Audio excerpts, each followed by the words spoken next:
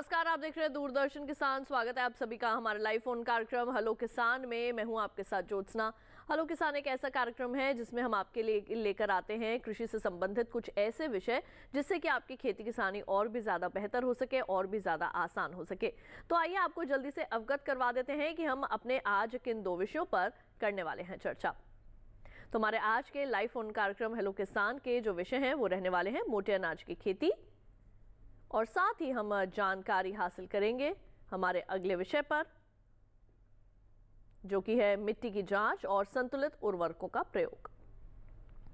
इन दोनों ही विषयों के संबंध में अगर आप कोई भी जानकारी हासिल करना चाहते हैं तो आप हमारे टोल फ्री नंबर्स पर हमें फ़ोन कर सकते हैं, जो कि है एक आठ शून्य शून्य एक एक तीन शून्य छः शून्य, एक आठ शून्य शून्य एक एक तीन शून्य छः एक। जब भी आप इन नंबर्स पे फ़ोन करेंगे, आपका कोई भी पैसा नहीं लगेगा, केवल आपने अपने टीवी की आवाज़ को बंद रखना है खास तौर से उस दौरान जब अपना प्रश्न आप हमारे विशेषज्ञों से पूछ रहे हो। अब आइए आप नोट कर लीजिए हमारा व्हाट्सएप नंबर जो कि है आठ आठ शून्य शून्य दो शून्य सात एक सात। और उसके साथ ही हमारा email ID hello Kisan 2015 at Gmail dot com ये भी हमने आपको एक विकल्प दे दिया है, इसके ज़रिए भी आप अपने प्रश्न हम तक पहुँचा सकते हैं। तो toll free number WhatsApp number और साथ ही साथ ईमेल आईडी इन तीनों में से कोई भी एक विकल्प को चुनिए जल्दी से और अपने प्रश्न जो है वो हम तक पहुँचाने शुरू कर दीजिए। आइए आपका परिचय करवा दें स्टूडियो में मौजूद विशेषज्ञों से हमारे को मोटे अनाज की खेती पर ज़्यादा जानकारी देने के लिए मौजूद है हमारे साथ स्टूडियो में डॉक्टर शिवाधर मिश्रा जी। आपका बहुत बहुत स्वागत है। और इसके साथ ही आ, मिट्टी की जाँच से संबंधित और संतुलित उर्वरकों के प्रयोग के बारे में जो है हमें ज़्यादा जानकारी देंगे डॉक्टर हरिराम चौधरी जी। डॉक्टर हरिराम आपका भी बहुत बहुत स्वागत है हमारे कार्यक्रम में। तो फिर आइए देर के इस बात के कार्यक्रम में चर्चा की शुरुआत करते हैं। सबसे पहले हम यहाँ पर रुक करेंगे डॉक्टर मिश्र का। डॉक्टर मिश्र क्योंकि आज हम बात कर रहे हैं मोटे अनाज की खेती के बारे में और मोटे अनाज की खेती को बहुत ज़्यादा जो है वो प्रोत्साहित भी किया जा रहा है हमारे किसानों के बीच और अब हमारे किसान इसकी खेती भी करने लगे हैं। तो मोटे अनाज की खेती मोटे अनाज क्या क्या होते हैं वो तो हम सब जानते ही हैं लेकिन इसकी खेती हमारे किसानों के लिए किस प्रकार से लाभकारी है इसके बारे में क्या बताएँगे? देखिए जहाँ तक देखा जाए आजकल हम जो सघन कृषि पद्धति अपना रहे हैं हमारे ज़्यादातर किसान भाई। और जिसमें अगर देखा जाए लागत भी बहुत कम है, उसके अलावा लागत के साथ साथ जो हमारे प्राकृतिक संसाधन है, वो धीरे धीरे चुक रहे हैं, कम, ख़त्म हो रहे हैं। और अगर देखा जाए पोषक तत्वों की दृष्टि से तो हमारे गेहूँ में, धान में जो मुख्य फ़सलें बोई जा रही हैं आजकल तो इनको खाने से देखा गया है कि इनमें रेशे की कमी है, बहुत सारी बीमारियाँ नई नई पैदा हो रही हैं बहुत सारे जो रक्त संबंधित बीमारियाँ या या या किडनी संबंधित बीमारियाँ बहुत सारी हो रही हैं।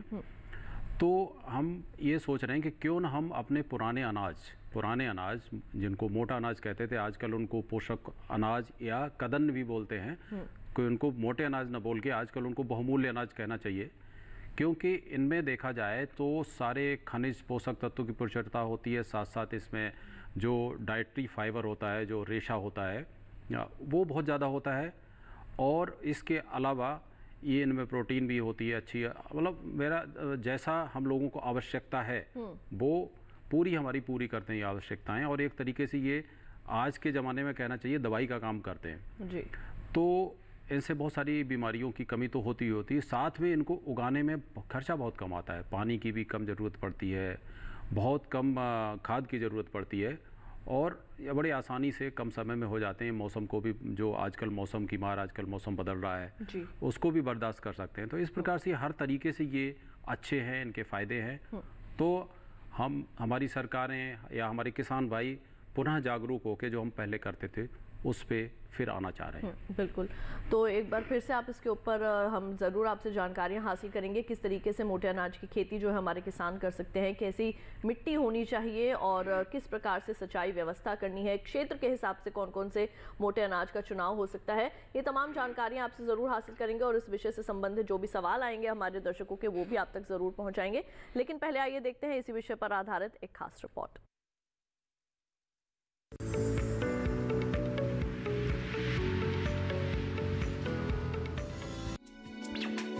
मोटे अनाज यानी श्री अन्न की ज़्यादातर फ़सलें खरीफ की हैं, जिनकी खेती बारिश के मौसम में की जाती है। इनकी खेती के लिए भूमि की बहुत ज़्यादा तैयारी करने की ज़रूरत नहीं होती, न ही इन्हें बहुत ज़्यादा सिंचाई की ज़रूरत होती है। असिंचित भूमि में भी इनकी खेती की जा सकती है। श्री अन्न दूसरी फ़सलों की तुलना में ढाई गुना कम पानी में भी अच्छी पैदावार देते हैं। रागी की बात करें तो रागी की खेती कई तरह की उपजाऊ और कार्बनिक पदार्थों से भरपूर मिट्टी में की जा सकती है। लेकिन इसके अच्छे उत्पादन के लिए बलुई दोमट मिट्टी को सबसे अच्छा माना जाता है। इसकी खेती के लिए भूमि में जल भराव नहीं होना चाहिए, क्योंकि जल भराव होने की वजह से इसके पौधे खराब हो जाते हैं।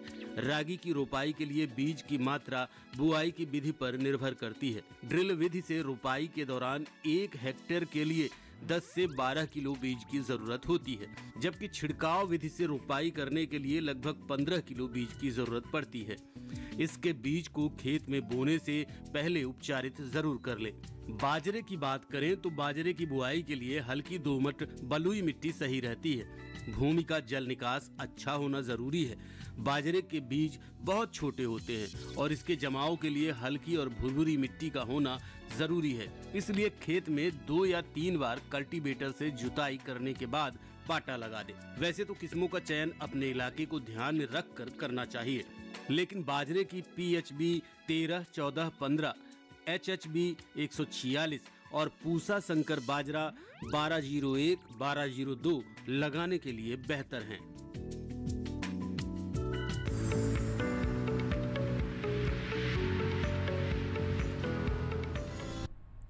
तो अभी आपने देखी हमारी विशेष रिपोर्ट। अब आइए हम यहाँ पर रुक कर लेते हैं डॉक्टर चौधरी का। डॉक्टर चौधरी क्योंकि आज आपका विषय जो है वो है अ, मिट्टी से संबंधित किस तरीके की मिट्टी जो है वो होनी चाहिए मिट्टी की जाँच कैसे करें संतुलित उर्वरकों का इस्तेमाल जो है हमारे किसान कैसे करें इससे संबंधित आज आपसे तमाम जानकारियाँ लेंगे। तो डॉक्टर चौधरी सबसे पहले तो आप ये बताइए कि मिट्टी की जाँच करवाना हमारे किसानों के लिए क्यों ज़रूरी है और पोषक तत्व प्रबंधन क्यों करना चाहिए?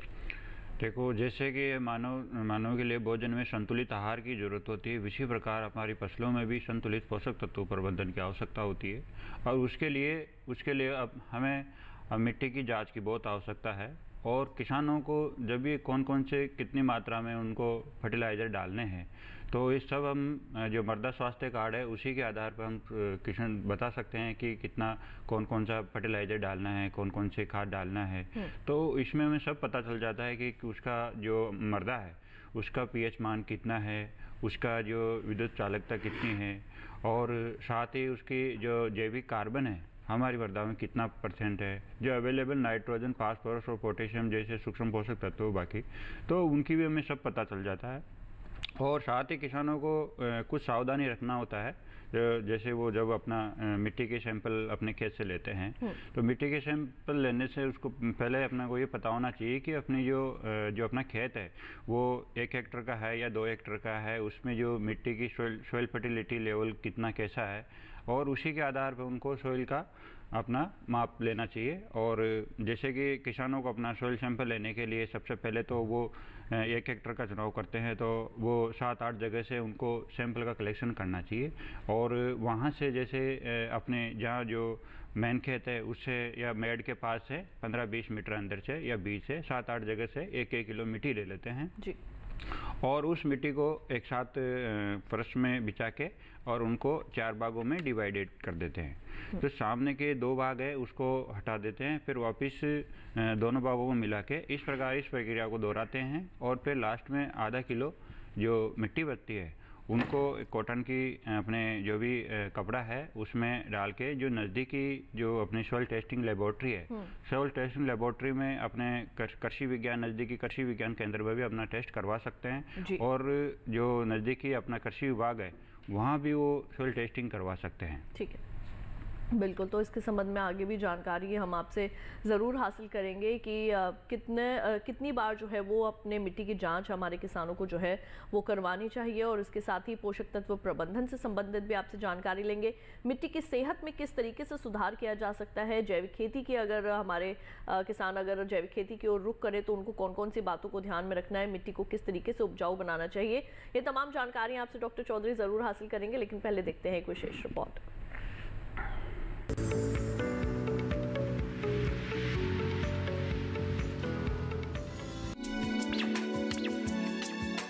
मिट्टी खेत और फ़सलों की जान होती है। इसलिए आपको फ़सल बुआई से पहले अपने खेत की मिट्टी की जाँच ज़रूर करानी चाहिए। मिट्टी की जाँच करवाने से आप मिट्टी में मौजूद कमियों का सही समय पर सही इलाज कर सकते हैं। दरअसल सघन खेती के कारण मिट्टी में पैदा हुए विकारों की जानकारी और सुधार के लिए मिट्टी की जाँच की जाती है। इसके अलावा मिट्टी में कौन कौन से पोषक तत्व कितनी मात्रा में मौजूद हैं, इसकी जानकारी के लिए भी मिट्टी की जाँच की जाती है। फ़सल की बुआई या रोपाई से एक महीने पहले खेत की मिट्टी की जाँच कराएँ। मिट्टी की जाँच आमतौर पर दो या तीन साल में करवानी चाहिए। वहीं मिट्टी की सेहत बनाए रखने और अच्छी फ़सल के लिए संतुलित उर्वरक भी ज़रूरी हैं। उर्वरकों के संतुलित इस्तेमाल का मतलब है कि फ़सल की ज़रूरत के हिसाब से सभी ज़रूरी पोषक तत्वों को उचित मात्रा व अनुपात में सही समय पर मिट्टी में उपलब्ध कराना। पौधों के संपूर्ण विकास के लिए 18 पोषक तत्वों की ज़रूरत होती है। पौधों के लिए ज़रूरी पोषक तत्वों में नाइट्रोजन, फास्फोरस और पोटाश का उपयोग अधिक मात्रा में और अन्य तत्वों का उपयोग थोड़ी मात्रा में किया जाता है। उर्वरकों के संतुलित उपयोग से फ़सल को तीन पोषक तत्व सही अनुपात में मिल जाते हैं। बोई जाने वाली फ़सल की किस्म के आधार पर उर्वरक का चयन करना फ़ायदेमंद रहता है। इसके अलावा उर्वरक का परिस्थितियों के अनुसार सही समय पर उपयोग करना चाहिए। सही समय वो होता है जब पौधों को उस तत्व की अधिक ज़रूरत होती है। फास्फोरस और पोटाश की ज़रूरत पौधों को अपने प्रारंभिक काल में जड़ की वृद्धि के लिए होती है। ऐसे में इन उर्वरकों की संपूर्ण मात्रा बुआई के समय आधार पर देनी चाहिए।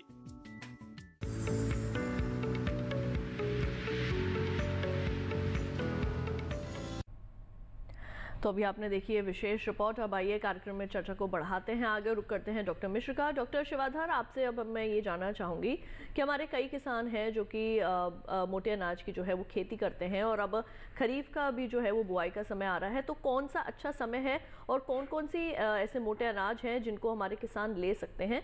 किस तरीके की मिट्टी होनी चाहिए? शुरुआत कैसे करें? देखिए, जहाँ तक इनकी बुआई का समय का है चूँकि सारे जहाँ तक जो श्रियन हैं, वो वर्षा आधारित आधारित क्षेत्र या जहाँ पे शुष्क इलाके हैं, उनके लिए उपयुक्त होते हैं। तो विशेषकर इन फ़सलों को उगाने का समय खरीफ ऋतु होती है, जब हमारी बरसात शुरू हो जाती है। और बरसात शुरू ज़्यादातर जगहों पे जुलाई के शुरू में होती है और उस समय इनको बोया जा सकता है। लेकिन कुछ, जैसे मडुआ है और ज्वार है कुछ इलाके ऐसे हैं जहाँ पे इनको जून में बोते हैं, क्योंकि इनकी अवधि थोड़ी सी ज़्यादा होती है। तो ज्वार और मडुआ को हम एक महीने पहले भी बो सकते हैं, अगर आपके पास सिंचाई के साधन उपलब्ध हैं। और चूँकि हमने पहले ही बताया कि जो ये श्रियन है, इनके लिए बहुत ज़्यादा पानी की आवश्यकता नहीं होती और बरसात अगर में अंतराल भी होता है तो इसके पौधे फिर भी सरवाइव कर जाते हैं ज़िंदा रह जाते हैं और एक अच्छी पैदावार बाद तक दे जाते हैं अगर इनमें कम बरसात भी होती है। तो कम पानी के लिए ये बहुत ही उपयुक्त फ़सलें हैं। लेकिन अ, अगर वर्षा ऋतु में बोते हैं तो जो पानी की जितनी भी आवश्यकता है वो भरपूर तरीके से पूरी हो जाती है और ये फ़सलें अच्छी पैदावार देती हैं। दूसरी बात इनको उगाने के लिए हर एक फ़सल का अपना अपना स्वभाव होता है और इन फ़सलों का भी स्वभाव ये होता है कि आप इनको जहाँ भी लगाएँ वहाँ पानी नहीं भरता हो हम मुझे लग रहा है ज़्यादातर फ़सलों के धान को छोड़ के या धान जैसी फ़सलें उनको छोड़ के ज़्यादातर फ़सलों के लिए जल भराव अच्छा नहीं होता है और जल भराव होने से फ़सल खराब हो जाती है। और चूँकि ये शुष्क इलाके लिए ज़्यादा अच्छे माने जाते हैं तो इसमें जल भराव नहीं होना चाहिए किसी भी अ, कद श्री अन्न में जो पाँच छः तरीके के होते हैं जैसे मड़ुआ है मड़ुआ को रागी भी कहते हैं उसके अलावा काकुन है प्रोसो मिलेट है सांबा है और बहुत सारे बाजरा है तो इस तरीके के सात मिलेट होते हैं इनको लगाने के लिए अ, वर्षा ऋतु ही ज़्यादा अच्छी मानी जाती है। बिल्कुल हमारे पहले कॉलर हमारे साथ फ़ोन लाइन पर जो है वो मौजूद है डॉक्टर प्रमोद जी खुशीनगर उत्तर प्रदेश से। आइए उनका सवाल शामिल करें। हेलो हेलो डॉक्टर प्रमोद आपका बहुत बहुत स्वागत है कार्यक्रम में। अपना सवाल पूछे क्या जानना चाहते हैं? ये पूर्वी उत्तर प्रदेश में जो मोटे अनाज की किस्में हैं वो कौन कौन सी हैं और कब इसको लगाने का समय है। देखिए डॉक्टर साहब आपने जो प्रश्न किया है, वो हमारा कुछ जवाब पहले वाले प्रश्न में जवाब था जो हमने अभी बताया। लेकिन फिर भी मैं आपको बता बताना चाहूँगा कि पूर्वी उत्तर प्रदेश या किसी भी जगह, इसकी चूँकि बहुत ज़्यादा प्रजातियाँ विकसित नहीं की गई हैं, क्योंकि ये वैसे अपने में ही जो लोकल प्रजातियाँ थी, वो ज़्यादा अच्छी मानी जाती थी। लेकिन फिर भी चूँकि उनकी उपज का स्तर बहुत कम था 800 से 900 किलोग्राम प्रति हेक्टेयर तक होता था। दूसरे, हम कभी भी इन श्री अन्नों को जब उगाते थे तो सीधी प्योर इसी फ़सल को नहीं बोते थे। हम किसी फ़सल के साथ में इनका छिड़काव कर देते थे, जिससे कि एक रिस्क जो इंटर क्रॉपिंग या मिक्स क्रॉपिंग जिसे कहते हैं ना, उस तरीके से बोते थे। लेकिन आजकल हमारे बहुत सारे जागरूक किसान इसको प्योर फ़सल के रूप में भी लेना चाहते हैं। तो मैं कुछ प्रजातियाँ बताना चाहूँगा, जैसे मडुआ की प्रजातियाँ हैं तो इंड ऑफ़ वन है इंड ऑफ़ पाँच है, शारदा है वी टू एक सौ एक है, दो सौ चार है, एक सौ उनचास है, इसी तरीके से 146 है, निर्मल, विक्रम, ये मडुआ की प्रजातियाँ जो कि काफ़ी प्रचलित हैं और ये ज़्यादातर जगहों पर काम कर जाती हैं, अच्छी पैदावार देती हैं। इसी तरीके से चीना होता है जिसको हॉग मिलेट भी कहते हैं प्रोसो मिलेट भी कहते हैं। इसकी प्रजाति सी ओ वन होती है एक एक पी बी एक सौ छियानवे सोलह सौ पचासी एम एस अड़तालीस बहत्तर और अड़तालीस चौरासी। इस तरीके से बहुत सारी प्रजाति इसकी भी उपलब्ध हैं लेकिन जो बहुत ज़्यादा प्रचलित प्रजातियाँ उनका मैं नाम आपको बता रहा हूँ। काकुन है। काकुन को भी हम बो सकते हैं। इसमें भी C O three four Arjun और प्रताप कंगनी एक इस तरीके से ये प्रजातियाँ हैं। अगर मैं बताऊँ तो हर एक, जितने भी प्रजातियाँ हैं, जितनी भी तरीके के मिलेट है, सबकी कुछ न कुछ प्रजातियाँ उपलब्ध हैं आजकल। तो स्थान विशेष के अनुसार प्रजातियों को चुनाव कर सकते हैं और उपलब्धता के अनुसार भी, क्योंकि इसका उपलब्ध होना भी बहुत ज़रूरी बात है। आजकल हर जगह हर वैरायटी उपलब्ध नहीं होती है। जी, बिल्कुल।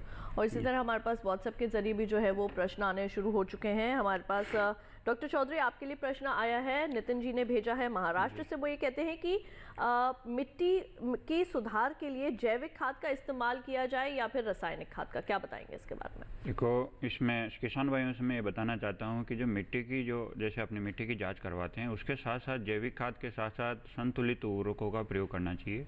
जैसे कि अपनी देसी खाद हो गई कंपोस्ट हो गया और हरी खाद हो गई और दूसरी जो खाद है उसी प्रकार जो किसानों को मैं सबसे पहले बताना चाहूँगा कि जैसे अपना उत्पादकता की बढ़ाने के साथ साथ उसकी गुणवत्ता में भी ध्यान में रखते हुए अपन को उनका आवश्यक पोषक तत्वों की जानकारी होना बहुत आवश्यक है। जैसे कि अपना कार्बन, हाइड्रोजन और ऑक्सीजन, ये तीन तत्व है जो पानी, हवा और मिट्टी से मिलते हैं। और पौधे की इसकी जो संरचना, इसको बनाने में पचानवे प्रतिशत भाग इसका होता है, तीनों तत्वों का। और बाकी जो अपने चौदह पोषक तत्व है, जो प्राथमिक मुख्य पोषक तत्व है, नाइट्रोजन फास्फो- फास्फोरस, पोटेशियम, और द्वितीय मुख्य पोषक तत्व है, जिसमें है आपका कैल्शियम, मैग्नीशियम, सल्फ़र है। और इसी प्रकार अपने हार्ट जो मुख्य पोषक तत्व है जो मुख्य पोषक तत्व जो पौधों को कम मात्रा में आवश्यकता होती है, लेकिन इसकी महत्वता उतनी है जितने की मुख्य पोषक तत्व है। तो इस प्रकार आयरन, जैसे बता सकते हैं, आयरन है, मैग मैग्नीज है, कॉपर है, आपका जिंक है, बोरोन है, मोलिब्डेनम है, क्लोरीन है और निकिल है। तो ये मुख्य पोषक तत्व है, जिनको बहुत ज़रूरी है और इनको आवश्यक मुख्य पोषक तत्व इसलिए भी कहा जाता है क्योंकि ये इनके बिना कोई भी पौधा अपनी लाइफ साइकिल पूरा नहीं कर सकता। और दूसरा ये है कि कोई भी कोई भी पोषक तत्वों की कमी है तो दूसरे पोषक तत्वों से उससे म, उसको कंप्लीट नहीं किया जा सकता। और जैसे नाइट्रोजन की कमी है तो उसको फास्फोरस या अन्य जो पोषक तत्व उससे कंप्लीट नहीं किया जा सकता। और इसी प्रकार जो तीसरा है जो अपनी जो पौधे की जो मेटाबॉलिक एक्टिविटी है अपाचय क्रियाएँ हैं उस क्रियाओं में भी इसका डायरेक्टली इनरोल रोल है और पर्टिकुलर किसी भी न्यूट्रेंट की कमी हो जाती है तो वो अपनी हिस्से की जो उत्पादकता को उसको कम कर देता है। जी, बिल्कुल। और कार्यक्रम में जो है वो हम चर्चा को आगे ज़रूर बढ़ाएँगे। वक्त हो चला है एक छोटे से ब्रेक का। जल्द लौटेंगे वापस। कहीं मत जाइए, देखते रहिए हमारा लाइव फ़ोन कार्यक्रम। हलो के साथ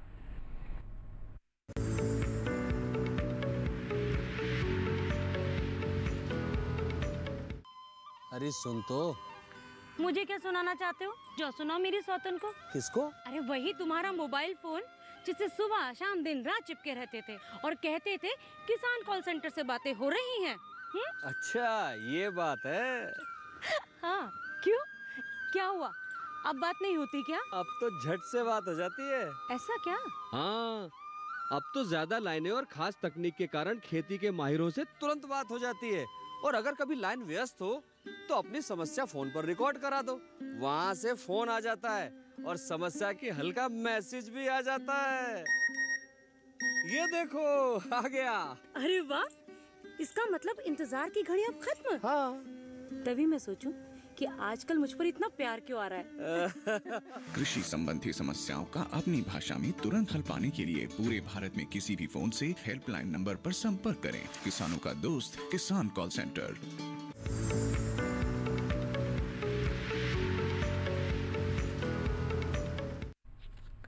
ब्रेक के बाद एक बार फिर आप सभी का स्वागत है हमारे लाइव फ़ोन कार्यक्रम हेलो किसान में, जहाँ आज हम जानकारी ले रहे हैं मोटे अनाज की खेती के बारे में और उसके साथ ही हम ये भी जान रहे हैं कि किस तरीके से जो है वो मिट्टी की जाँच करवानी चाहिए और जो हमारे पोषक तत्व हैं, जो हमारे उर्वरक हैं, उनका इस्तेमाल किस तरीके से अपने खेतों में करना चाहिए। अगर इन्हीं विषयों के संबंध में आपके मन में भी कोई प्रश्न है, कुछ भी जानना चाहते हैं, कोई जानकारी हासिल करना चाहते हैं किसी समस्या से जूझ रहे हैं तो आप हमें तुरंत फ़ोन कीजिए। हमारे टोल फ्री नंबर्स पर जो कि हैं, एक आठ शून्य शून्य एक एक तीन शून्य छः शून्य और छः एक। हमारे व्हाट्सएप नंबर आठ आठ शून्य शून्य पाँच दो शून्य सात एक सात। हमारा ईमेल आईडी हेलो किसान दो हज़ार पंद्रह at Gmail dot com तीनों में से कोई भी एक विकल्प चुनिए और जल्दी से आप, हम तक पहुँच सकते हैं और अपने प्रश्न जो है वो पूछ सकते हैं। हमारे अगले कॉलर नंद स्वरूप मिश्रा जी बारह बाराबंकी से मौजूद है फ़ोन लाइन पर उनका सवाल लेते हैं। हेलो हेलो नंद स्वरूप जी आपका बहुत बहुत स्वागत है कार्यक्रम में सवाल पूछे क्या जानना चाहेंगे? हाँ, हेलो किसान नमस्कार। जी। विशेषक हमार, हमारे सवाल। मैं ये चाहता हूँ कि हमारा जो ज्वार होता है रागी होता है बाजरा होता है रामदाना होता है कुटकी कोदो कंगनी कुटकी और कावा चीना तो हमें किस मिट्टी में किस मौसम में किस समय हमें बुआई करनी चाहिए जिससे अधिक पैदावार हमें मिल सके? हम्म, बिल्कुल। बिल्कुल बिल्कुल सही। अभी इस बात पे चर्चा हो रही थी मिश्रा जी आ, मिट्टी हर एक के लिए हर जितनी फ़सलें आपको आपने बताई हैं और जो बता रहे हम लोग हर एक के लिए बलुई दोमट तो अच्छी होती ही होती है लेकिन अगर पानी निकास की उत्तम व्यवस्था है तो थोड़ी भारी ज़मीनों में भी इनकी खेती की जा सकती है। पानी भरना नहीं चाहिए जो मैंने पहले भी बताया है और इस बात पे हमेशा ज़ोर देते हैं कि ये जितनी भी फ़सलें इस तरीके की हैं इनमें पानी का भराव उसके लिए सीधा सीधा फ़सल पे विपरीत प्रभाव डालता है। और इनको बोने का जो सही समय है, वो बरसात की शुरुआत है। कुछ फ़सलें जैसे रागी और ज्वार है, इसको हम समय से पहले भी बो सकते हैं। समय से पहले का मतलब ये है कि बरसात आने से पहले भी अगर आपके पास सिंचाई की व्यवस्था है तो आप जून में भी इसकी बुआई कर सकते हैं। और, बाकी का सब का समय, बरसात का समय ही है। जी बिल्कुल। डॉक्टर चौधरी अब आपसे मैं यहाँ पर ये जानना चाहूँगी कि जिस तरीके से हम मोटे अनाज की खेती के बारे में भी बात कर रहे हैं और जैसे कि हम ये भी देख रहे हैं कि आज के समय में उत्पादन जो है वो हमारे जो फ़सलें हैं उनका कम होता जा रहा है। तो ऐसे में जब हम मोटे अनाज की खेती करते हैं तो क्या अगर मिट्टी की उर्वरक उर्वरक शक्ति जो है अगर वो कम है तो क्या उसका असर मोटे अनाज की खेती पर भी पड़ता? है हम्म, हाँ बिल्कुल आपने बहुत अच्छा क्वेश्चन किया। इसका सीधा इफ़ेक्ट अपने उत्पाद जो फ़सल की उत्पादकता पे सीधा इफ़ेक्ट पड़ता है क्योंकि किसान एक दो उर्वरकों पे अपना फर्टिलाइज़र पे अपना ध्यान रखता है जैसे डीएपी है यूरिया है इन्हीं को डालता है बाकी जो संतुलित उर्वरक है उनका उपयोग नहीं करता है। तो देख जैसा कि आपको इसको समझाने के लिए मैं आपको बताना चाहूँगा कि जैसे कि हरी क्रां हरित क्रांति के पहले यानी दो उन्नीस सौ पचास इक्यावन में जो हमारा जो खाद्यान्न उत्पादन था, वो लगभग पचास मिलियन टन हुआ करता था। जो आज है, जो अपना खाद्यान्न उत्पादन है, वो तीन सौ उनतीस मिलियन टन हो गया है। तो जो कि एक छः गुने से भी ज़्यादा खाद्यान्न उत्पादन हो गया है। लेकिन जो, जब हरित क्रांति आई थी, उन्नीस सौ सड़सठ में जब हरित क्रांति आई थी तो उस, वो जो मुख्य, उसका जो मुख्य कारण था, वह कि उन्नत किस्म के बीज और अपने फर्टिलाइज़र तो उसी कारण आया था। लेकिन लगातार फर्टिलाइज़र का उर्वरकों का प्रयोग करने करने से जो जो उर्वरा शक्ति है, जो उसमें माइक्रो ऑर्गेनिज्म की एक्टिविटी है, वो दिनों दिन कम हो गया है। तो आपने इसको, मैं समझाना चाहूँगा तो 1970 की बात करें, जब एक किलो नाइट्रोजन, फास्फोरस और पोटेशियम डालते थे तो 13 किलो लगभग अनाज उत्पादित हुआ करता था। और आज एक किलो नाइट्रोजन, फास्फोरस और पोटेशियम डालते हैं तो ढाई किलो अनाज उत्पादित होता है। जो कि अपने को ये पता चलता है कि जो अपन जो मर्दा से ले रहे हैं, उतना अपन उसमें पोषक तत्व नहीं दे पा रहे हैं। जी बिल्कुल। हमारे साथ अगले कॉलर हमारे मौजूद है गोविंद जी मध्य प्रदेश से आइए उनका सवाल लेते हैं। हेलो हेलो जी हाँ। गोविंद जी आपका स्वागत है कार्यक्रम में। अपना सवाल पूछिए क्या जानना चाहेंगे? जी हम ये जानना चाहते हैं कि हमारे आसपास कहीं भी मिट्टी जाँच केंद्र नहीं है बहुत दूर है दतिया से सौ किलोमीटर दूर है इसलिए हम मिट्टी की जाँच कैसे कराएँ?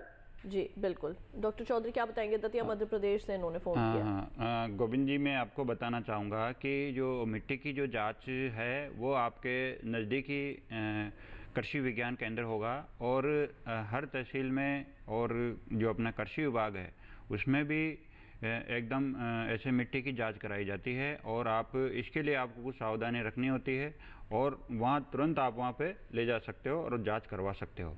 जी बिल्कुल। डॉक्टर मिश्रा आप इसके अंदर कोई और जानकारियाँ जोड़ना मैं चाहेंगे? आपको आप चूँकि दतिया से हैं तो दतिया में भी एक हमारे भारतीय कृषि अनुसंधान परिषद का एक संस्थान है जो soil water and conservation Dehradun का रीजनल स्टेशन है। वहाँ पे जाके हमारे वैज्ञानिकों से संपर्क कर सकते हैं।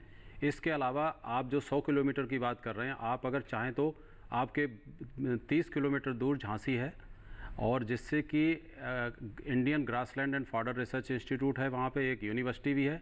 तो आप वहाँ के वैज्ञानिकों के से अगर संपर्क करेंगे तो अब निश्चित ही आपकी मृदा की जाँच भी करवा देंगे, आपकी मदद की जाएगी, आपको रास्ता बताया जाएगा। तो आप 100 किलोमीटर ग्वालियर जाने के चक्कर में ना रहें, आप पास में ही अपना काम करवा सकते हैं।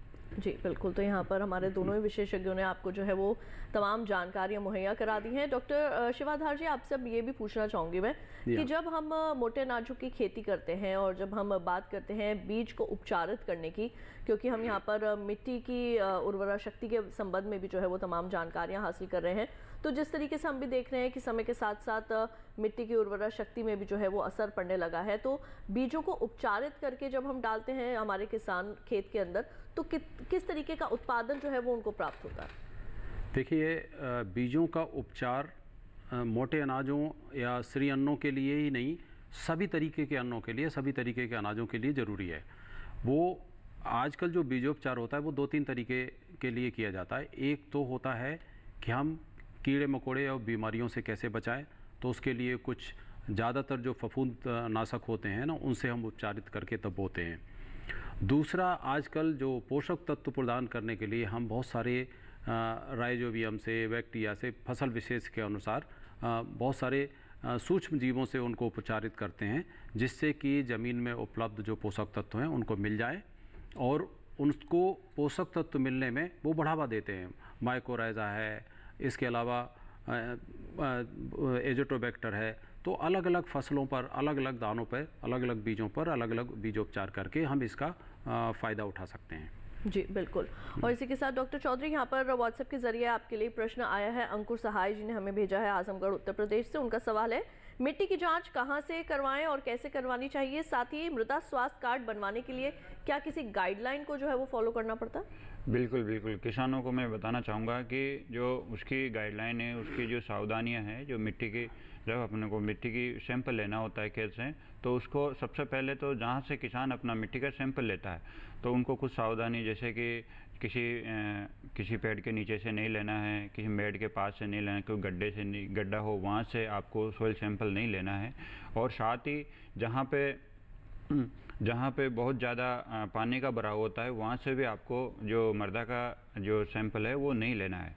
और जब किसानों को सोइल सैंपल लेना होता है तो वो अपनी जो मेड से कम से कम 15-20 मीटर की दूरी पर 15-20 मीटर की दूरी से वहाँ से अपने सात आठ स्पॉट बनाएँ और वहाँ से भी एक एक किलो जो जो मिट्टी का सैंपल ले सकते हैं और उनको आप लगभग उसको मिला के और उनको आपस में चार भागों में डिवाइडेड करके आम, सामने वाले के दो भागों को हटा सकते हो और ये पुनः ये प्रक्रिया करना चाहिए तब तब तक और अपने खेत पे। इस सैंपल को आप आधा किलो जब तक नहीं हो जाता, तब तक ये प्रक्रिया अपनानी है और साथ ही फिर उसमें आपको अपनी कुछ जानकारी रखनी है। किसान का नाम, उसका पता मोबाइल नंबर खेत का नाम, आने वाले सीज़न में वो कौन सी फ़सलें ले रहा है, उसके बारे में भी उसको उसमें सब लिखना है।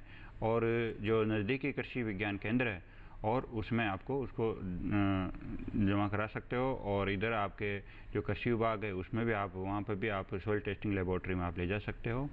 और किसानों के जैसे कि उसकी वो कितनी गहराई पे सोइल जो मर, जो मिट्टी है तो उसको अपन फ़सल कौन सी फ़सल बो रहे हैं जैसे वो नॉर्मल फ़सल बो रहे हैं तो उसकी जो नॉर्मल जिसे जिसको 15 सेंटीमीटर की गहराई पर ही वो बी शेप में आपका सैंपल लें और ऊपर की जो ऊपर से कम से कम वन सेंटीमीटर वाली मिट्टी को हटा दे और बी शेप से वो अपना सोइल सैंपल ले। जी बिल्कुल। और इसके साथ हमारे अगले कॉलर जो है वो मौजूद है फ़ोन लाइन पर। काशी प्रसाद जी आइए उनका सवाल शामिल करते हैं। हेलो जी। जी काशी प्रसाद जी आपका बहुत बहुत स्वागत है कार्यक्रम में। सवाल पूछिए आपने हमें मध्य प्रदेश सीहोर से फ़ोन किया है। मैम सवाल ये है हम्म। कि सैंपल किस तरीके से लेना कहाँ कहाँ से लेना है? और जी। हाँ हाँ। काशी हाँ, जैसे काशी प्रसाद जी हम पहले भी आप बता रहे थे कि जो सोइल सैंपल है जो मिट्टी की जो सोइल सैंपल लेना है तो वो आपको अपने खेत से मेड के पास से नहीं लेना है और जहाँ पे बहुत ज़्यादा आपको लगता है कि वहाँ खाद डाला हुआ है तो वहाँ से भी नहीं लेना है। और जहाँ पे पत्ते पत्तियाँ हैं वो कूड़ा करकट है या वहाँ से भी आपको सोइल सैंपल नहीं लेना है और पानी का भराव होता है, वहाँ से सोइल सैंपल नहीं लेना है तो इस प्रकार कुछ सावधानी आपको रखनी होगी। और इसके बारे में मैंने पहले भी आपको बताया है कि क्या क्या सावधानी बरतनी पड़ती है और अपना जो भी डिटेल है, उस सोइल सैंपल के साथ आपको जो सोइल टेस्टिंग नज़दीकी जो सोइल टेस्टिंग लेबोरेटरी है, उसमें आप उसको टेस्ट करवा सकते हैं। बिल्कुल। और इसी के साथ कार्यक्रम में जो है वो जानकारियों का सिलसिला आगे भी जारी रहेगा। वक्त हो चला है एक और छोटे से ब्रेक का। जल्द लौटेंगे वापस और व्हाट्सएप पे जो आपके प्रश्न आए हैं, उनको करेंगे शामिल। देखते रहिए दूरदर्शन के साथ।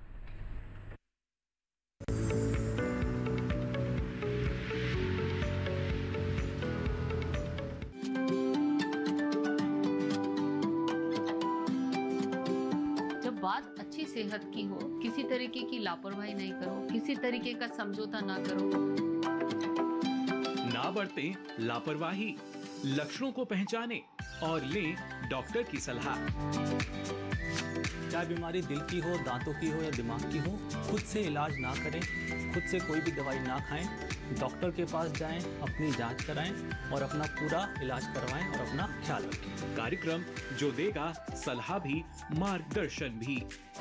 मोबाइल उठाएँ, नंबर मिलाएँ, एक आठ शून्य शून्य एक एक तीन शून्य छः शून्य या एक आठ शून्य शून्य एक एक तीन शून्य छः एक।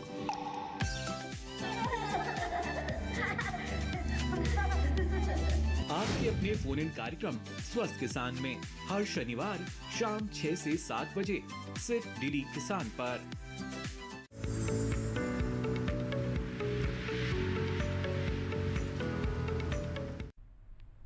ब्रेक के बाद एक बार फिर आप सभी का स्वागत है हमारे लाइव फ़ोन कार्यक्रम हलो किसान में जहाँ आज हम जानकारियाँ हासिल कर रहे हैं मोटे अनाज की खेती के बारे में। और साथ ही ये भी अ, जानकारियाँ हासिल कर रहे हैं किस तरीके से मिट्टी की जाँच आपको जो है वो करवानी चाहिए और कैसे आपने पोषक तत्व प्रबंधन जो है वो अपनी फ़सलों में करना है और इसके संबंध में। कोई भी अगर आप जानकारी लेना चाहते हैं संतुलित उर्वरकों के बारे में कुछ भी जानना चाहते हैं तो आप हमें फ़ोन कर सकते हैं। एक आठ शून्य शून्य एक एक तीन शून्य छः शून्य और छः एक पे। व्हाट्सएप नंबर भी आप जानते हैं आठ आठ शून्य शून्य पाँच दो शून्य सात एक सात। Email I D hello Kisan दो हज़ार पंद्रह at Gmail dot com हमारे अगले कॉलर जो है वो फ़ोन लाइन पर मौजूद हैं। आइए उनका सवाल लें। हेलो हेलो हाँ जी। जयचंद जी आपका बहुत बहुत स्वागत है। आपने हनुमानगढ़ राजस्थान से हमें फ़ोन किया। अपना सवाल पूछिए। मिट्टी की जाँच करानी है मैडम जी नरमा बीजना है। जी। हेलो? जी जी जी। अपना सवाल एक बार फिर से दोहराएँ। मिट्टी की जाँच करानी है। आ गया सर मेरा मेरा नाम आ गया टीवी में। जी ठीक है। आ, जी बिल्कुल। उन्होंने टेस्टिंग के लिए जो है वो दे रखा है। अब तक उनका नाम नहीं आया है। डॉक्टर चौधरी उन्होंने मिट्टी की जाँच करवानी है। कुछ ऐसे ही एक मिला जुला प्रश्न यहाँ पे सुरेश कुमार जी ने भी झुंझुनू राजस्थान से हमसे पूछा है। कि मिट्टी की जाँच के लिए सैंपल लेने का सही तरीका क्या है? आपने बताया है कई बार लेकिन मैं चाहूँगी एक बार फिर से आप बता दें कितनी गहराई से लेना चाहिए फ़सल कटाई के कितने दिन बाद लेना चाहिए? और दूसरा सवाल उनका यह है कि ग्वार की बढ़िया किस्म कौन सी है? ये इन्होंने झुंझुनू राजस्थान से हमें मैसेज किया है। हाँ देखो किसान भाई ने बहुत अच्छा क्वेश्चन किया है। उसमें क्वेश्चन में जैसे कि अपनी जो सही समय है जो अभी रबी की फ़सल की कटाई हुई है और अभी हमें खरीफ की फ़सल की तैयारी करनी है। तो फ़सल कटाई है तो अभी अपने खेत खाली है। तो कटाई के बाद हम जो मिट्टी का सैंपल है हम ले सकते हैं। और बुआई से पहले, बुआई से पहले ये ये सावधानी रखनी होती है कि कहाँ से उनको मिट्टी का सैंपल लेना है। ऐसा नहीं है कि वो अगर खड़ी फ़सल है तो वहाँ से आपको जो मर्दा का सोयल सैंपल नहीं मतलब सोयल सैंपल नहीं लेना है।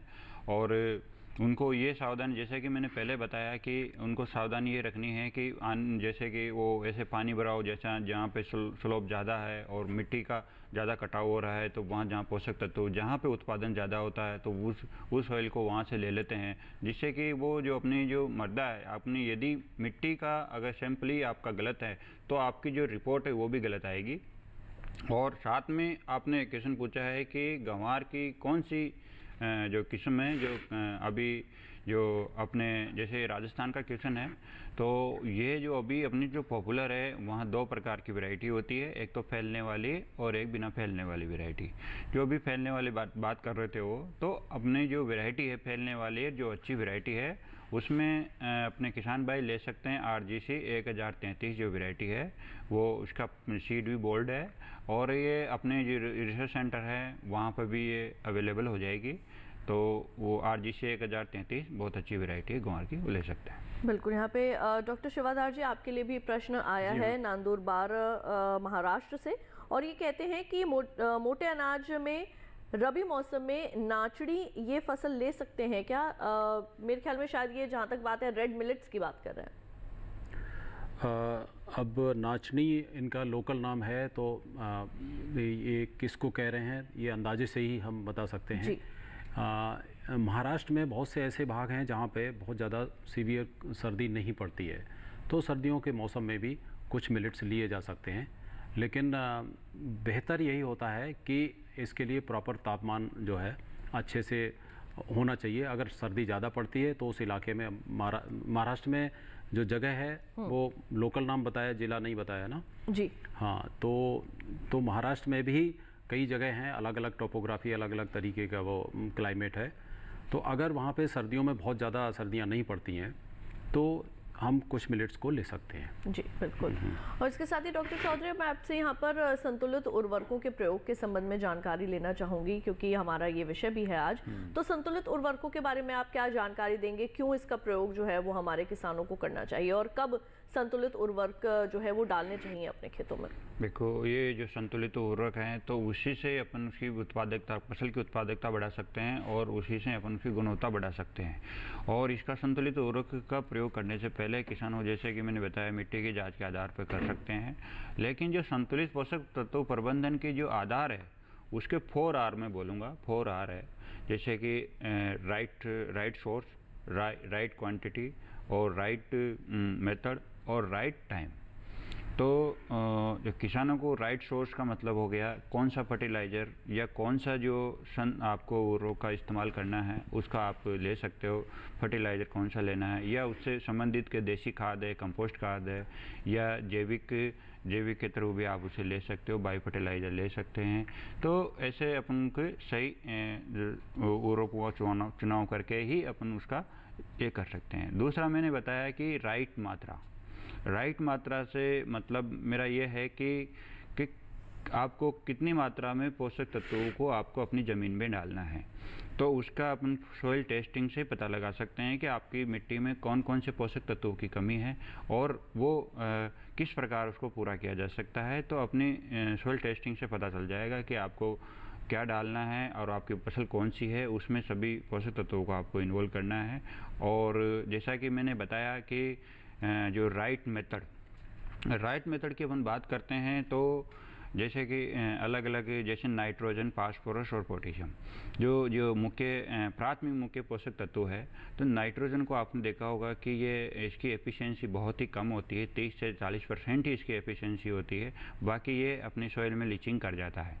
लेकिन इसकी जो एफिशिएंसी है, इसकी जो दक्षता है वो उसी पे डिपेंड करता है कि अपन जो जो अपने सॉइल जो अपनी मृदा है, उसमें कितने जीवाश्म हैं और कितना उसमें है। जैसे कि आप जब यूरिया डालते हो तो वो डायरेक्ट पौधा यूरिया नहीं लेता है। उसको कन्वर्ट करके और वो अपना पौधे नाइट्रेट के रूप में नाइट्राइट के रूप में लेता है। जैसे यूरिया डालते हैं तो फिर वो अमोनिया जैसे ऑक्सीजन कन्वर्ट होकर नाइट्रोसोमोनास होता है, जो नाइट्रेट में नाइट्राइट में बदल जाता है और नाइट्रोस नाइट्रोसोमोनास नाइट्राइट बदलता है और नाइट्रोबैक्टर नाइट नाइट्राइट से नाइट नाइट्रेट में बदल जाता है जिससे एनओ जो आयन है, जो सीधा पौधों को मिलता है। इस प्रकार जो अपनी बेनिफिशरी जो बैक्टीरिया है, वही आपको, वो जो आपका यूरिया है, उसको कन्वर्ट करके पौधे को उपलब्ध करवाता है। और जैसे मैं बता रहा इसका कैसे मेथड है, इसको स्प्लिटिंग मेथड से अपन दे सकते हैं। जैसे कि ज़्यादातर फ़सलों में पासपोरस और पोटेशियम की मात्रा, पूरी मात्रा दी जाती है और जो नाइट्रोजन की जो मात्रा है, वो तीन या दो या तीन डोज में दी जाती है क्योंकि वो बहुत ही गतिशील मोबाइल अपना न्यूट्रेंट है। तो वो बहुत ज़्यादा लीचिंग लॉसेज होता है। तो शुरुआत में उसका तैंतीस परसेंट जो अपने बुआई से पहले दे सकते हैं और फिर जो दूसरी सिंचाई करते हैं, तीस जो तीस पैंतीस दिन पे तो वो कर सकते हैं और साठ दिन पे अपन उसका तीसरी का वो कर सकते हैं। जी, बिल्कुल। हमारे अगले कॉलर रवि कुमार जी हमारे साथ इस वक्त मौजूद है, फ़ोन लाइन पर, उत्तर प्रदेश से, आइए उनका सवाल है हेलो? हेलो रवि जी आपका स्वागत है कार्यक्रम में। अपना प्रश्न पूछिए क्या जानना चाहते हैं? सर मुझे क्या जानकारी चाहिए कि हम लोगों को मिट्टी की जाँच करवानी है। जी। तो हम लोग कोच पूरे जालौन कोच चंदुर्रा गाँव का नाम है। तो क्या यहाँ पर ये सुविधाएँ उपलब्ध नहीं है? हम लोगों को उसका एक्चुअल जानकारी नहीं है। वो जानकारी हम लोग चाहते हैं। जी। क्या बताएँगे? डॉक्टर मिश्रा आप कुछ बताना चाहेंगे इसके बारे में? ये बहुत ही कॉमन समस्या है हमारी, हमारे सभी किसान भाइयों की कि या तो डिस्ट्रिक्ट हेड क्वार्टर जहाँ भी है, वहाँ पे कृषि विज्ञान केंद्र हैं ज़्यादातर। और उन कृषि विज्ञान केंद्रों पर ज़्यादातर जगहों पर सुविधा उपलब्ध है। लेकिन अगर नहीं है, फिर भी आप वहाँ के वैज्ञानिकों से संपर्क करेंगे तो वो निश्चित ही आपको जो सबसे पास की जगह होगी वो बता देंगे और उस जगह जाके आप अपने सैंपल दे सकते हैं और जाँच करवा सकते हैं। ऐसा होता है कि कहीं पे मशीन काम नहीं कर रही, कहीं पे सही नहीं हो रहा तो थोड़ा बहुत आप अगल बगल के डिस्ट्रिक्ट में जा सकते हैं और किसी और संस्थान जो आसपास में, कानपुर में आप जा सकते हैं, उरई में अगर हैं तो सीएसए में, कानपुर में जो यूनिवर्सिटी है चंद्रशेखर आज़ाद, वहाँ पर भी होता है, वहाँ से भी करवा सकते हैं। तो इस तरीके से अगर आपको करवाना है तो आपको निश्चित जहाँ चाह है, वहाँ रहा है। तो आप लोग आराम से करवा सकते हैं, पास में पता करके, लेकिन आपको जानकारी अगर नहीं है तो कृषि विज्ञान केंद्र पे या कृषि विभाग के लोगों से आप बात करके वो जानकारी ले सकते हैं। बिल्कुल। यहाँ पे डॉक्टर चौधरी एक प्रश्न मेरा यहाँ पर ये रहेगा जिस तरीके से हमारे प्रश्न भी आ रहे हैं कई बार हमारे किसान ये कह रहे हैं कि मिट्टी की जाँच के लिए यहाँ पर कोई सुविधाएँ नहीं है तो क्या अपनी मिट्टी जो है वो जैसे जिस तरीके से कुरियर सर्विसेज़ चलती हैं तो क्या इस तरीके से मिट्टी को भी किसी एक संस्थान के अंदर जैसे कुरियर करवाया जा सकता है? ऐसा भी कुछ ऐसी हाँ। कोई सुविधा होती है हाँ, बताया जा सकता है इसके बारे में? हाँ इसको भी ऐसा भी कर सकते हैं। काफ़ी ऐसी संस्था हैं और प्राइवेट संस्था भी है जिसमें किसान प्राइवेट कॉरियर से भी वो अपने जो सैंपल है सोयल सैंपल है उसको भेज सकते हैं और जैसे कि जो आप सबसे नज़दीक में जो कृषि विभाग है हम्म। उन्होंने अपने एरिया का पूरा वो सोयल फर्टिलिटी मैप बना रखा होता है और जो आपके गाँव में भी कृषि सुपरवाइज़र हैं और साथ में कृषि अधिकारी है, वो आपके सबसे नज़दीक मिलेंगे और वो सॉइल सैंपल को आपके नज़दीकी जो कृषि विभाग है, वहाँ पर ले जा सकते हैं, क्योंकि कृषि विज्ञान केंद्र और जो बाकी संस्थाएँ वो आपसे दूर हो सकती है। लेकिन हर गाँव में, हर गाँव, चार पाँच गाँवों के बीच में एक कृषि प्रवेशक होता है एग्रीकल्चर सुपरवाइजर होता है, जो आपको इसकी जानकारी दे सकता है, और उन्होंने अपना इतना अच्छा कर रखा है कि वो अपने जिस एरिया में आप रह रहे हो उसका जो पोषक तत्व है उनको एक मैप बना रखा है और उसी के आधार पे वो मैप का भी लिंक करते हैं। आपको सोइल टेस्टिंग का भी पूरा बताएँगे वो और उसको नज़दीकी तुरंत आपको उस पर आपके मतलब एक्शन होगा और आपका उसका समस्या का समाधान होगा। बिल्कुल हमारे अगले कॉलर संजय जी मौजूद हैं महाराष्ट्र से फ़ोन लाइन पर उनका सवाल लेते हैं। Hello hello hello Sanjay ji आपका स्वागत है कार्यक्रम में। आपने हमें महाराष्ट्र से फ़ोन किया है। अपना सवाल पूछिए क्या जानना चाहेंगे आप? वो ज़मीन की मिट्टी की जाँच करते कितने साल में कितने दिन में दोबारा करना चाहिए उसके वास्ते? हाँ, हेलो। जी बिल्कुल। तो डॉक्टर चौधरी कितने दिन में दोबारा करवानी चाहिए? देखो ये बहुत ही अच्छा क्वेश्चन पूछा इन्होंने संजय जी ने। तो मैं इनको बताना चाहूँगा कि जो अपनी जो मिनिमम जो अपना जो सॉइल टेस्टिंग करवा रहे हैं उसमें कम से कम दो साल में दो साल के अंदर आप अपना दू, दूसरी बार सॉइल टेस्टिंग करवा सकते हैं। और इसमें यह ध्यान रखना है कि आपकी जो यदि जो भी आप उर्वरक डाल रहे हैं लेकिन उसके रेजिड्यूल कम से कम आपके दो साल तक काम करते हैं। इसलिए मैं दो साल कहीं आकर आपकी अगर फर्टिलिटी लेवल एक जैसी लगती है आपको तो उसे तीन साल में भी बढ़ाया जा सकता है। बिल्कुल। डॉक्टर शिवाधर अब आपसे मैं ये जानना चाहूँगी जब हमारे किसान मोटे अनाज की खेती करते हैं तो किस तरीके से आर्थिक लाभ जो है वो उनको प्राप्त होता है? तो अ, किस तरीके का प्रोत्साहन जो है वो उनको मिलता है जब वो मोटे अनाज की खेती करते हैं? इसके बारे में आपसे ज़रूर जानकारी हासिल करेंगे। कार्यक्रम में फ़िलहाल वक्त हो चला है एक छोटे से ब्रेक का जो लौटेंगे वापस कहीं में जाइए देखते रहिए लाइफ फ़ोन कार्यक्रम हेलो किसान।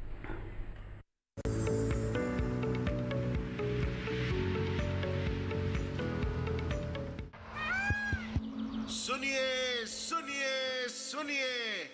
आपके गाँव में फिर सजेगा प्रश्न मंच। आपके गाँव में फिर सजेगा प्रश्न मंच।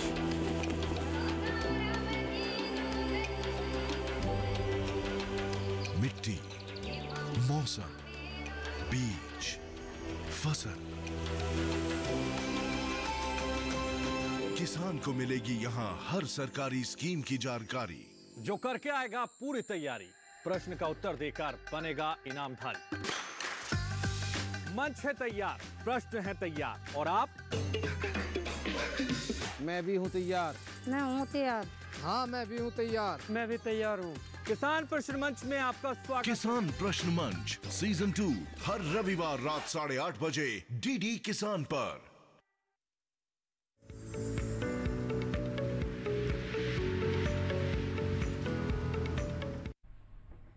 ब्रेक के बाद एक बार फिर आप सभी का स्वागत है हमारे लाइव फ़ोन कार्यक्रम हेलो किसान में जहाँ पे आज हम बात कर रहे हैं अ, किस तरीके से आप कर सकते हैं मोटे अनाज की खेती और साथ ही ये भी जान रहे हैं कैसे करवानी है मिट्टी की जाँच और कैसे करना है आपने सूक्ष्म पोषक तत्व अ, संतुलित उर्वरकों का प्रबंधन। और इसके साथ ही हमारे एक कॉलर जो है वो फ़ोन लाइन पर मौजूद है आइए उनका सवाल ले। हेलो हेलो जगदीश जी बूंदी राजस्थान से आपने फ़ोन किया। प्रश्न पूछिए। जी मैं मैं यूँ कह रहा हूँ कि मेरे पास सिंचाई की व्यवस्था है और मैं बाजरा बोना चाहता हूँ क्या अभी गर्मी में बाजरे की बिजाई हो सकती है हो सकती है तो सबसे कम समय अवधि की कौन सी किस्म है और कितनी पैदावार हो सकती है? बिल्कुल। डॉक्टर देखिए क्या बताएँ?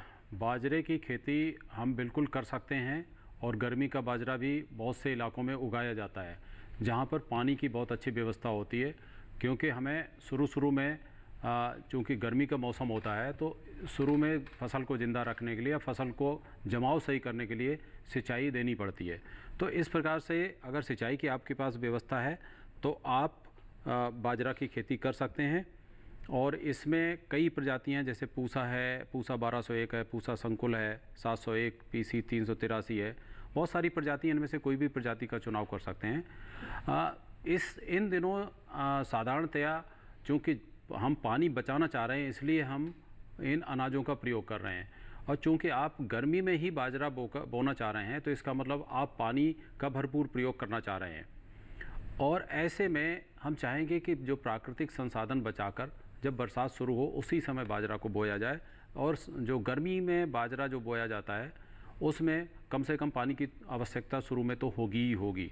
तो आ, आप बो सकते हैं अगर आपने सोचा है लेकिन ज़्यादातर हम लोग ये सिफारिश करते हैं कि आप गर्मियों के बजाय इसको बरसात में ही बोएँ तो ज़्यादा अच्छा रहेगा बिल्कुल यहाँ पे डॉक्टर मिश्रा आपके लिए दो प्रश्न भी आए हैं हाँ। व्हाट्सएप के ज़रिए हाँ। पहला प्रश्न है वरुण जी ने उत्तर प्रदेश से भेजा है वो ये कहते हैं कि कंगनी की खेती में खरपतवार नियंत्रण के लिए क्या करें चूँकि देखिए कंगनी की खेती जब करते हैं एक तो हम सबसे पहले जितने भी ये श्री अन्न हैं इनको आप लाइन में बोएँ पंक्तियों में बोएँ को क्योंकि ज़्यादातर हमारे किसान भाई क्या करते हैं इसको छिटकमा विष से बोते हैं जिससे जो अन्य खरपतवार और ये इन, इनके शुरू की अवस्था में आप पहचान ही नहीं सकते कि कौन सा खरपतवार है और कौन सी कंगनी है।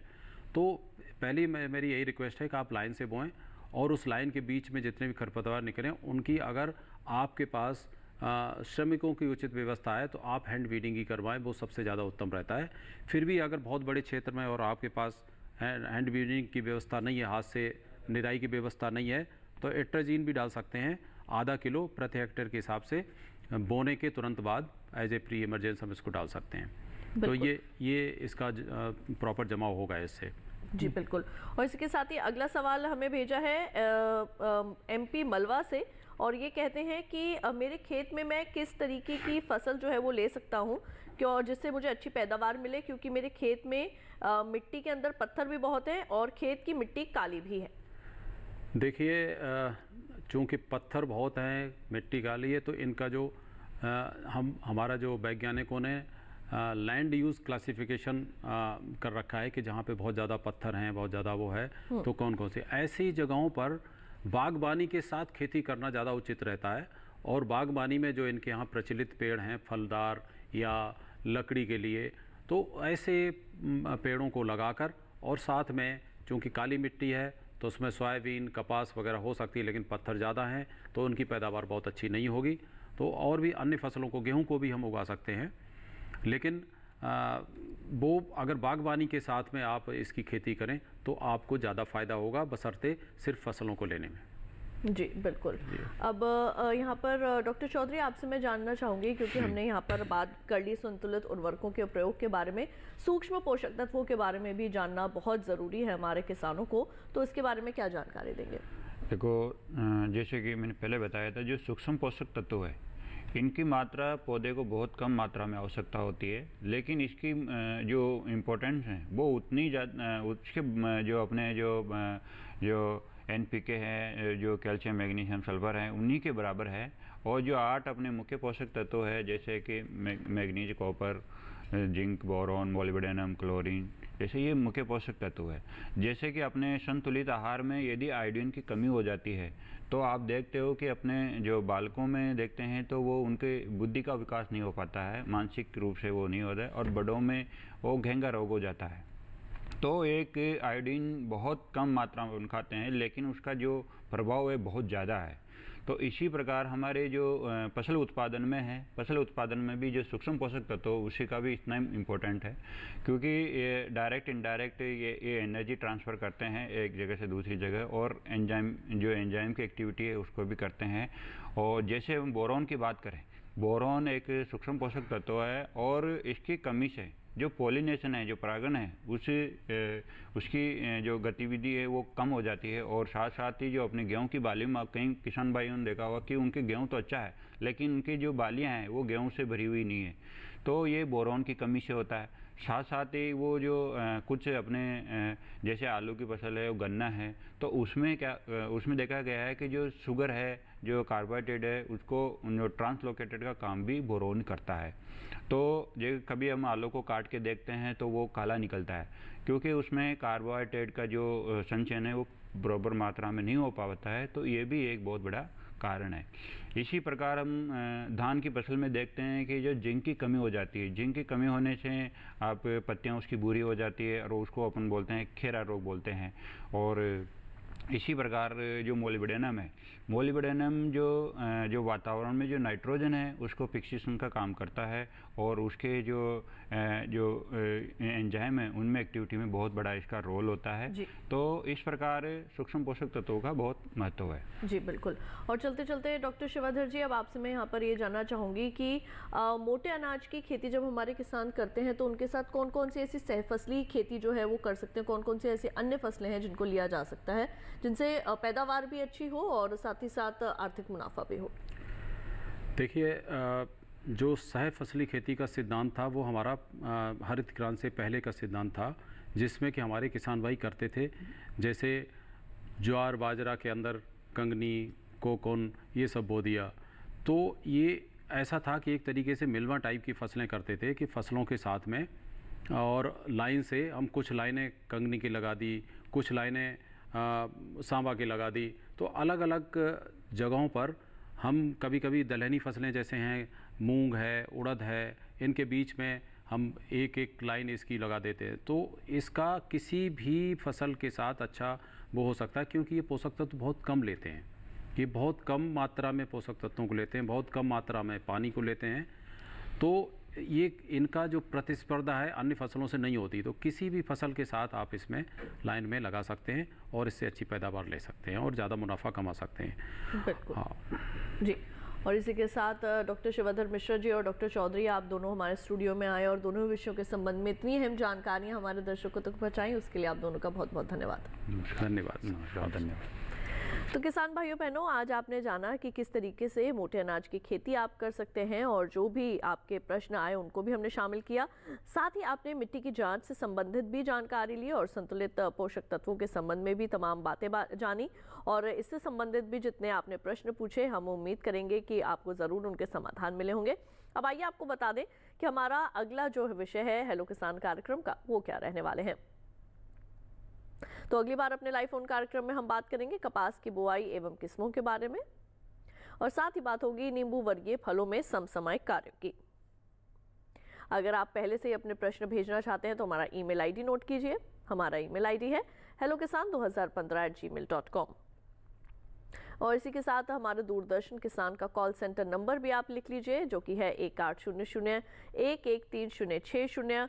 सोमवार से शनिवार सुबह छः बजे से रात दस बजे तक ये नंबर आपके लिए उपलब्ध रहता है। यहाँ भी आप अपने प्रश्न रिकॉर्ड करवा सकते हैं। और अगर आप हमारे इस कार्यक्रम को दोबारा से देखना चाहते हैं तो टीवी स्क्रीन पर अब आपको ये जो क्यूआर कोड दिख रहा है, इसको आप स्कैन कीजिए। इससे सीधे आप हमारे यूट्यूब चैनल पर चले जाएँगे। वहाँ जाकर भी आप एक बार फिर से देख सकते हैं हमारा हेलो किसान कार्यक्रम। तो उम्मीद करेंगे आज के कार्यक्रम में तमाम जानकारियाँ आप सभी के ज़रूर काम आएँगी। फ़िलहाल के लिए मुझे दीजिए इजाज़त, लेकिन आप देखते रहिए दूरदर्शन किसान। नमस्कार।